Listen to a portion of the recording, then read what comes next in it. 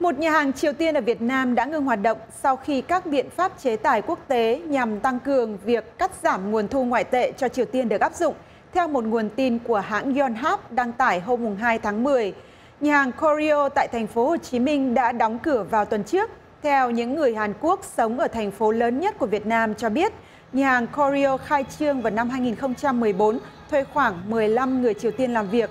một thông báo tại nhà hàng nói rằng nhà hàng tạm thời đóng cửa để nâng cấp sửa chữa, nhưng một nhân viên tại một nhà hàng gần đó nói rằng doanh nghiệp này của triều tiên đã bán lại cho chủ khác và hiện đang đóng cửa. Vào tháng hai năm ngoái, một nhà hàng triều tiên tại thành phố đà nẵng đã đóng cửa do doanh số bán hàng thấp, theo tờ korea herald.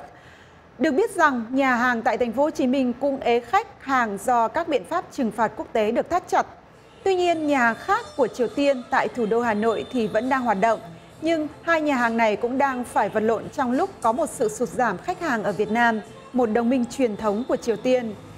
Mặc dù có quan hệ gần gũi với triều tiên, việt nam cùng cộng đồng quốc tế đã lên án những lời khiêu khích của bình nhưỡng sau vụ thử nghiệm hạt nhân thứ sáu hồi tháng trước và một loạt các vụ phóng tên lửa đạn đạo.